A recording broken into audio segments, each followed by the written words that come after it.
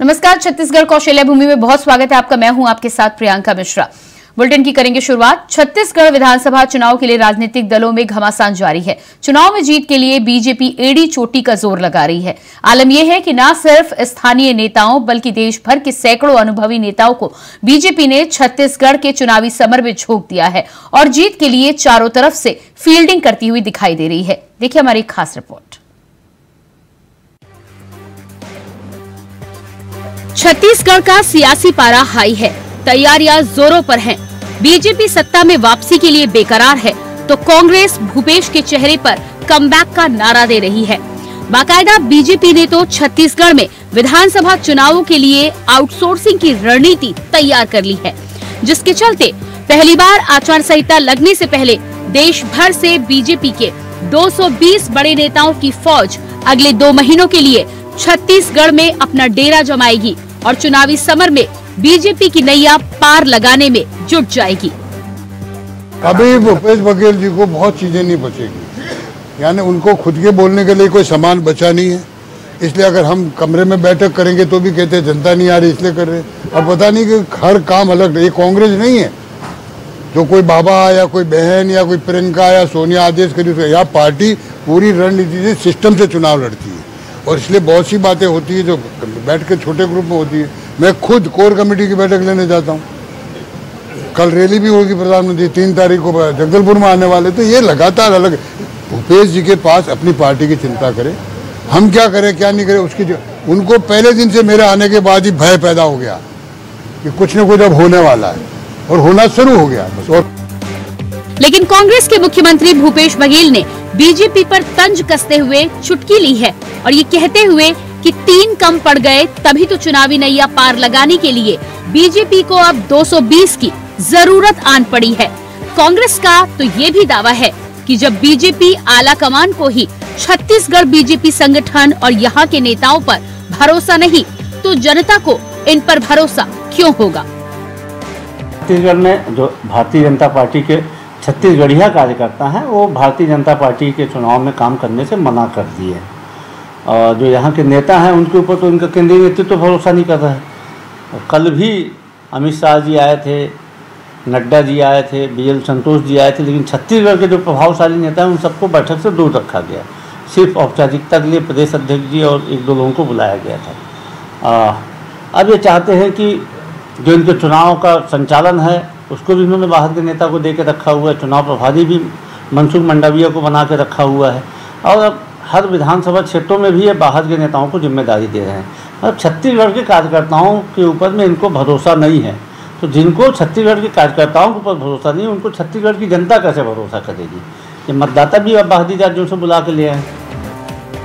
कुल मिलाकर देखना दिलचस्प होगा कि बीजेपी के अनुभवी नेताओं को कमान के बाद भी छत्तीसगढ़ में कांग्रेस का स्थानीयवाद चलता है या बीजेपी की आउटसोर्सिंग? रायपुर से विकास यादव की रिपोर्ट। मुख्यमंत्री भूपेश बघेल ने ट्वीट किया है, जिसमें उन्होंने कहा है कि 220 क्या 440 आए सभी का स्वागत है। छत्तीसगढ़ के सांस्कृतिक उत्थान को देखें, यहाँ की संस्कृति, सभ्यता उन्हें बहुत प्रभावित करेगी। और पता भी चलेगा कि 15 साल की गलतियाँ इतनी बड़ी थी कि प्रदेश में चुनाव लड़वाने के लिए नेता भी नहीं बचे।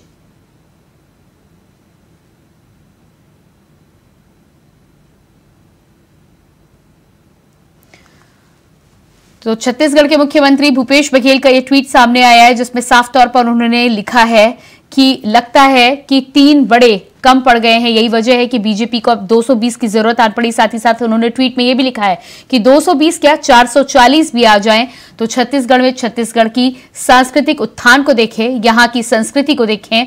लेकिन भारतीय जनता पार्टी के चाहे कितने भी नेता बाहर से आ जाएँ, छत्तीसगढ़ की जनता इस बार चुनावी लय में जो विकास की लय है, उससे डगमगाने वाली नहीं।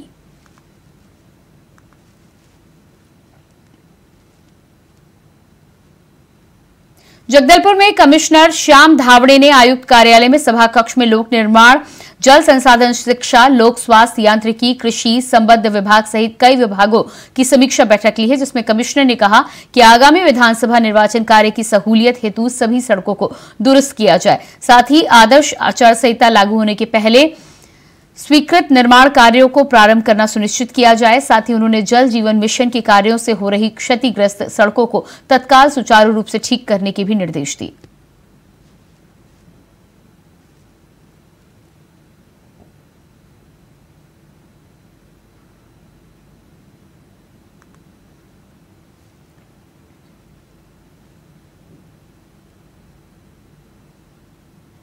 बलरामपुर ज़िले के कोटसारी गाँव के जंगल में झाड़ियों में नवजात बच्ची पाई गई है। बता दें कि अज्ञात लोगों ने नवजात बच्ची को सूनी झाड़ियों में फेंक दिया। इस दौरान सूचना मिलते ही मौके पर पहुँची पुलिस। बच्ची का झाड़ियों से रेस्क्यू करके लेकर आई। साथ ही साथ उसे जिला चिकित्सालय में भर्ती कराया गया है, जहाँ पर नवजात बच्ची का इलाज जारी है।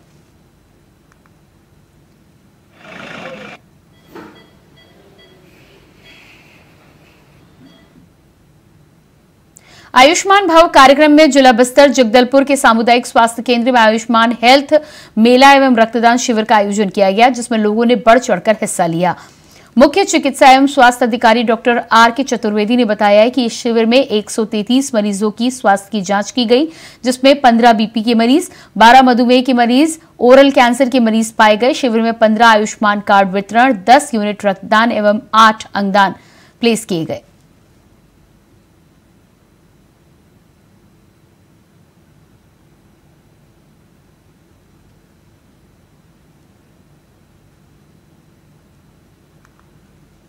भारत सरकार सूचना एवं प्रसारण मंत्रालय, केंद्रीय संचार ब्यूरो, क्षेत्रीय कार्यालय जगदलपुर की ओर से बस्तर ज़िले के आसना व जोरबदर में स्वच्छता ही सेवा पर जागरूकता का संदेश दिया गया। कार्यक्रम में केंद्रीय संचार ब्यूरो केबीएस ध्रुव के द्वारा स्वच्छता ही सेवा पर जानकारी दी गई। आपको बता दें कि प्रधानमंत्री के द्वारा गांधी जी की 150वीं जयंती पर स्वच्छता ही सेवा की कार्यक्रम की शुरुआत की गई है, जिसमें बताया गया है कि मुख्य रूप से स्वयं को, परिवार को, मोहल्ले को, गाँव को एवं कार्य स्थलों को स्वच्छ बनाने के लिए सबको आगे आना चाहिए, जिससे स्वच्छ भारत अभियान को सफल बनाया जा सके। वहीं कार्यक्रम में स्वच्छता की शपथ भी दिलाई गई, साथ ही स्कूल परिसर की गंदगी को श्रमदान के माध्यम से स्वच्छ कराया गया।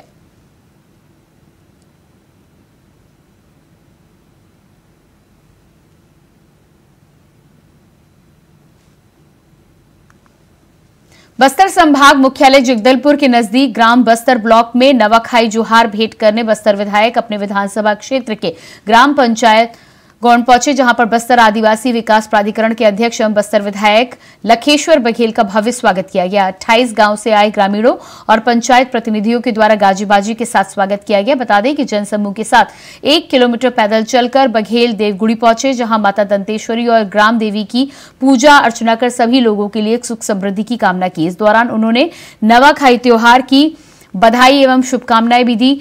बड़े बुज़ुर्गों का आशीर्वाद लिया।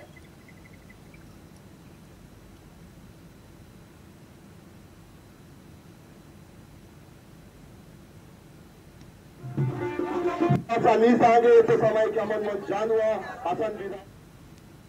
पुलिस अधीक्षक प्रशांत ठाकुर के द्वारा आने वाले त्योहार व आगामी विधानसभा चुनाव को देखते हुए धमंतरी में सभी राजपत्रित अधिकारी एवं थाना प्रभारियों को चाकूबाजी करने वाले असामाजिक तत्वों के खिलाफ कार्रवाई करने के सख्त निर्देश दिए गए हैं, जिस पर अतिरिक्त पुलिस अधीक्षक श्रीमती मधुलिका सिंह के मार्गदर्शन में लगातार अवैध कार्यों से लिप्त लोगों पर कार्रवाई की जा रही है। इसके मद्देनजर अवैध रूप से धारदार हथियार, बटनदार चाकू आदि रखने वालों पर नज़र रखी जा रही है, क्योंकि इस तरह के हथियारों से अपराध घटित करने और अनेक तरह की अप्रिय घटना घटित होने की संभावनाएँ बढ़ जाती हैं। बता दें कि कई ऑनलाइन शॉपिंग साइट से भी इस तरह के हथियार मंगाए जाने की सूचना पर साइबर सेल के ज़रिए तकनीकी जानकारी हासिल कर ऐसे व्यक्तियों की लिस्ट तैयार की गई है, जिन्होंने इस प्रकार के हथियार मंगवाए हैं।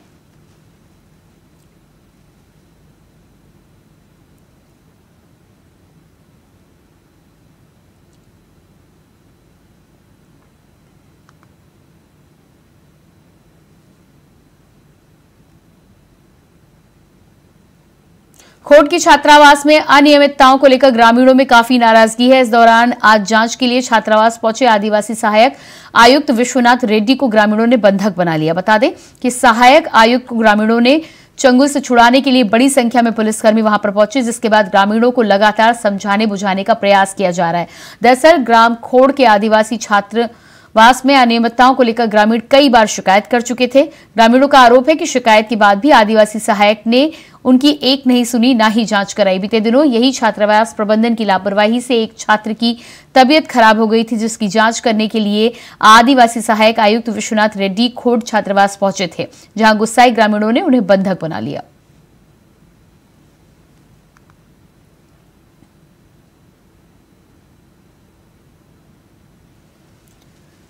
नमंत्री में छत्तीसगढ़ अंशकालीन स्कूल सफ़ाई कर्मचारियों ने गांधी मैदान में एक दिवसीय धरना प्रदर्शन किया। बता दें कि सफ़ाई कर्मचारियों ने अपने वेतन में बढ़ोतरी करने के लिए ये प्रदर्शन किया। इस दौरान कर्मचारियों ने सरकार के खिलाफ जमकर नारेबाजी की और चुनाव बहिष्कार करने की बात कही है।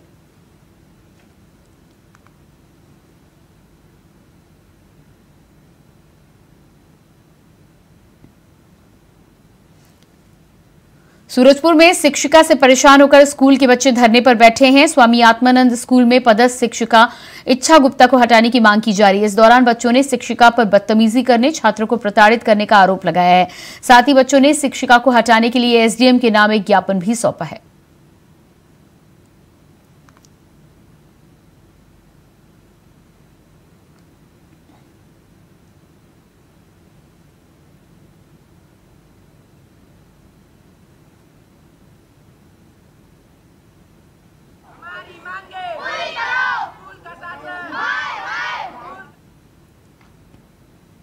ग्राम पंचायत देवपुर और मरोड़ा स्थित हाई स्कूल में स्मार्ट लैब स्थापना के नाम पर जिला पंचायत सदस्य की ओर से दी गई तीन लाख पचास हज़ार की राशि भ्रष्टाचार की भेंट चढ़ गई है। दरअसल, सप्लायर के द्वारा स्कूल में महज दो लैब टेबल के साथ तीन अलमारी स्कूल में भेजी गई हैं। पंचायत के सरपंच सचिव का दबाव बनाकर सारी राशि सप्लायर ने अपने खाते में डलवा ली। फ़िलहाल, पंचायत के पास सप्लायर के द्वारा क्या सामान भेजा गया है, इसको लेकर ना तो कोई जानकारी है, ना ही तीन लाख पचास हज़ार की राशि का कोई फ़ाइल मौजूद है।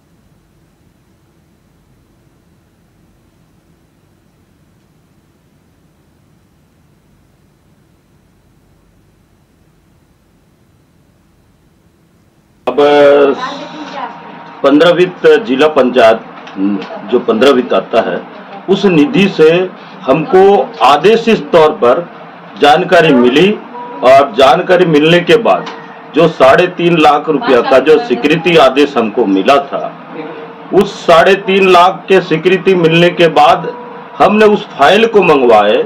मंगवाने के बाद जो पहले किस्त डलती है पंद्रह वित्त में क्या है?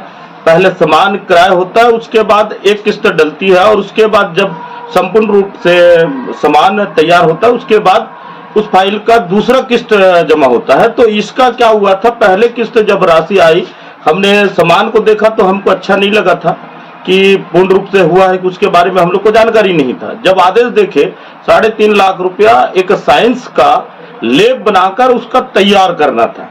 लेब के सामग्री प्लस उसको तैयार करने के लिए। तो साढ़े तीन लाख रुपए जिला पंचायत पंद्रह वित्त के निधि से जमा हुए आदेश के तौर पर आया था और वो दोनों किस्त एक साथ हुआ और हमको कहा गया कि हमारे इतने इतने सामान है, हमको दिखाया गया। नौकरी और मुआवजे की मांग को लेकर आज बड़ी संख्या में ग्रामीण कांग्रेस विधायक खेलनाथ सिंह और जिला उपाध्यक्ष नरेश रजवाड़े के नेतृत्व में अनिश्चितकालीन धरने पर बैठ गए। बता दें कि ग्रामीणों के धरने के कारण पूरे कोल परिवहन बाधित रहा, जिससे एसईसीएल के करोड़ों रुपए का नुकसान होने का अनुमान लगाया जा रहा है। दरअसल एसईसीएल विश्रामपुर के अंतर्गत आत्मगांव में कोयला खदान 2017 में खोला गया था। खदान को खोलने के लिए बड़े स्तर पर ग्रामीणों की ज़मीन ली गई थी। ज़मीन को लेने के बाद नियम के अनुसार ग्रामीणों को मुआवजे के साथ नौकरी देने का वादा किया गया था जो कि अभी तक पूरा नहीं हुआ है जिसके चलते ग्रामीण अनिश्चितकालीन धरने पर बैठे हैं हम सब हम किसी से भीख नहीं मांगते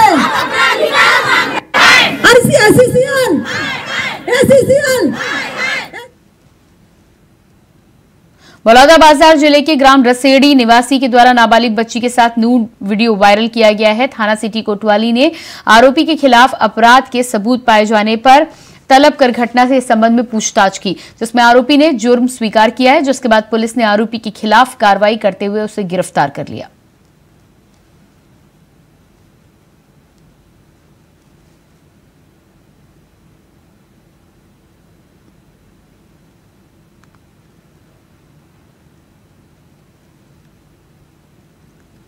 प्रधानमंत्री नरेंद्र मोदी के बस्तर आगमन और 3 अक्टूबर को लालबाग मैदान में होने वाली आम सभा की तैयारियों में भारतीय जनता पार्टी अपनी पूरी ताकत झोंक रही है। भारतीय राष्ट्रीय उपाध्यक्ष लता उसेंडी ने महिला मोर्चा कार्यकर्ताओं के साथ शहर में कई अलग अलग समाज की महिलाओं से संपर्क किया। महिला आरक्षण बिल संसद में बिना किसी गतिरोध के पारित कराने वाले प्रधानमंत्री नरेंद्र मोदी की आम सभा में आने के लिए उन्हें आमंत्रित किया।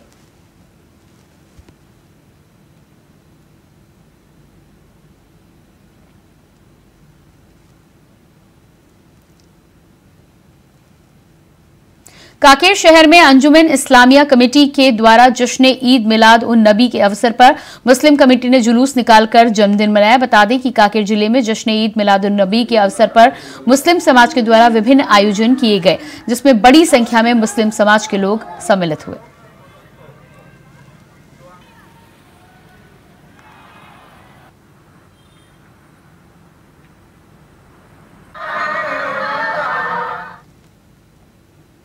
राजधानी रायपुर पहुँचे सांसद मल्लिकार्जुन खड़गे बता दें कि मुख्यमंत्री भूपेश बघेल ने स्वामी विवेकानंद पर उनका स्वागत किया है, जिसके बाद मल्लिकार्जुन खड़गे और मुख्यमंत्री भूपेश बघेल ने बलौदा बाज़ार में कृषक सह श्रमिक सम्मेलन में भाग लिया।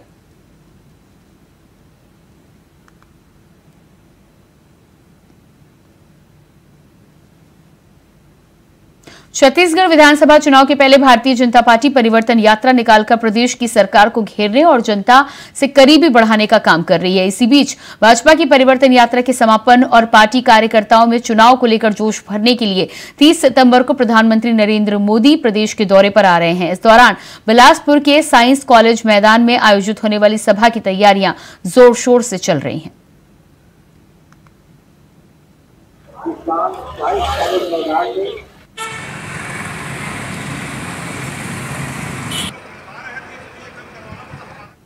मुख्यमंत्री भूपेश बघेल ने अपने निवास कार्यालय से वर्चुअल वीडियो कॉन्फ्रेंसिंग के माध्यम से 32 किलोमीटर लंबी सड़क, कोलियारी, खोरचा, दोनर, जोरतराई मुख्य मार्ग का वर्चुअल भूमि पूजन किया, जहाँ मुख्य मार्ग सड़क, चौड़ीकरण और पुल पुलिया सहित जिलेवासियों को मुख्यमंत्री भूपेश बघेल ने भूमि पूजन कर बड़ी सौगात दी। आपको बता दें कि साल 2023-24 के बजट में शामिल धमंत्री, कोलियारी खेरगा दोनर जोरतराई मार्ग पर पुल पुलिया निर्माण कार्य करने के लिए चौरासी करोड़ आठ लाख इक्यासी हज़ार रुपए की स्वीकृति मिली है। काफ़ी समय के बाद मार्ग निर्माण के लिए शासन प्रशासन की तरफ़ से मांग की जा रही थी। इस सड़क के बन जाने से जिलेवासियों को बेहतर आवागमन में सुविधा उपलब्ध होगी।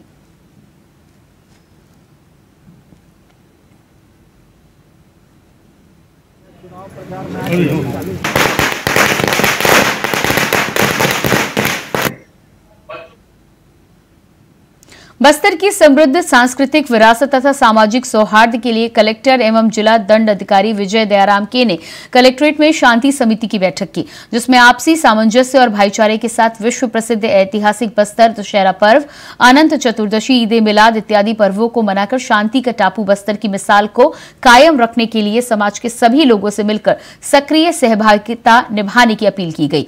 कलेक्टर विनय दयाराम के ने बैठक में कहा कि ज़िले में सभी आयोजनों के लिए सदैव ही लोगों का सहयोग मिलता रहा है। इसी तरह निरंतर सहयोग अपेक्षित है। साथ ही उन्होंने कानून व्यवस्था बनाए रखने के लिए जिला प्रशासन तथा पुलिस प्रशासन को सहयोग देने का आग्रह करते हुए नियमों का पालन करने पर ज़ोर दिया।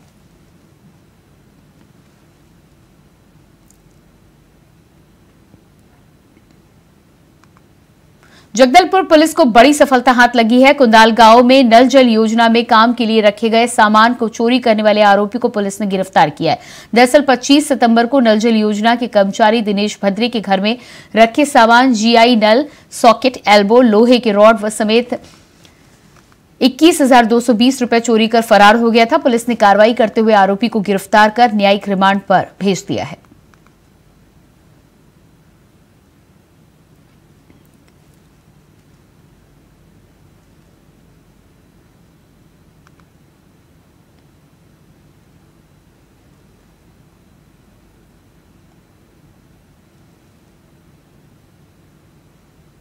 एक तरफ़ देश जहाँ आज़ादी का अमृत महोत्सव मना रहा है तो वहीं दूसरी तरफ़ आज़ादी के छिहत्तर साल के बाद भी बलरामपुर ज़िले के जनपद पंचायत वाड्रफ नगर की ग्राम पंचायत हरिगावा की ग्रामीण मूलभूत सुविधाओं से कोसों दूर है। केंद्र सरकार और राज्य सरकार मनरेगा कार्य के लिए सालाना हज़ारों करोड़ रुपए खर्च कर रही है, ताकि हर गाँव तक मूलभूत सुविधाएँ पहुँच सके। लेकिन सरकार के विकास के दावे कहीं दूर दूर तक नज़र नहीं आते।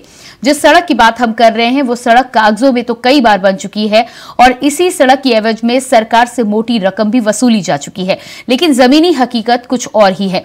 लाखों रुपए पंचायत के द्वारा निकाले गए हैं, लेकिन ग्रामीणों का कहना है कि सड़क की समस्या के बारे में हमने पंचायत के प्रतिनिधि व जनप्रतिनिधि सहित क्षेत्रीय विधायकों को कई बार इसकी जानकारी दी और अधिकारियों को भी इसकी जानकारी दी, लेकिन बावजूद इसके रोड नहीं बन पाया। बरसात के दिनों में बारिश के समय आवागमन पूरी तरह से ठप हो जाता है।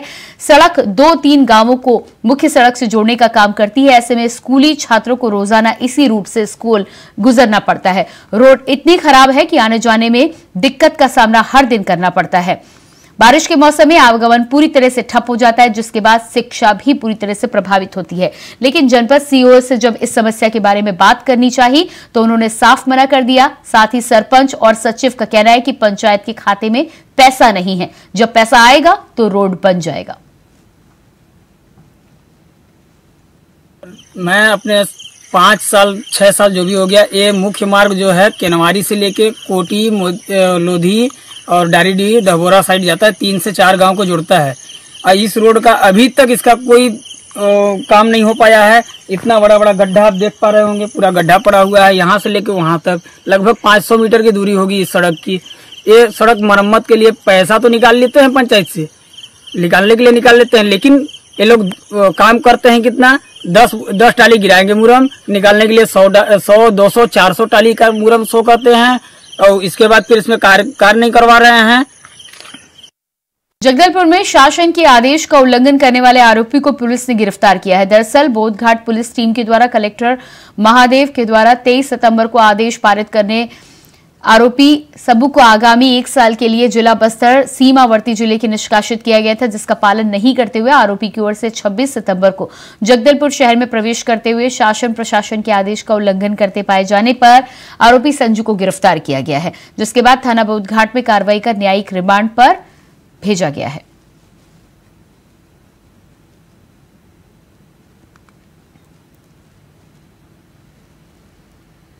और इसी के साथ फ़िलहाल इस बुलेटिन में इतना ही। खबरों के लिए बने रहिए इंडिया वॉइस के साथ। नमस्कार।